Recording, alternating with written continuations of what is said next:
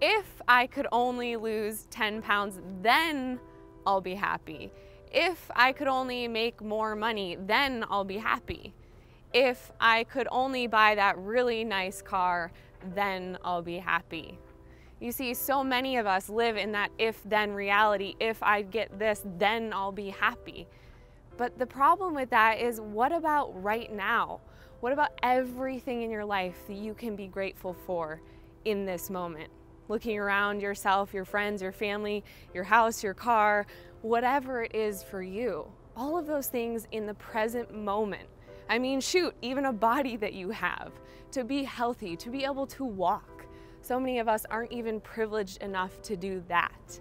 But we all live in this weird reality where we think if something happens in the future, then I can be happy. And we all live in the future and the past, and we forget about this moment right now.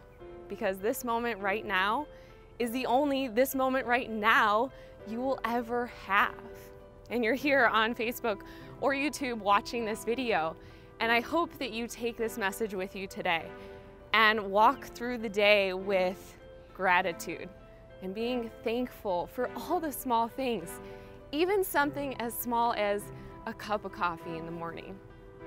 Because again, how often do we all just walk through life wishing or hoping or thinking in the future things will be better when right now you can make that choice to change your reality. All it takes is that one choice that you are gonna choose to live in the present moment and stop thinking that if this happens, then I'll be happy.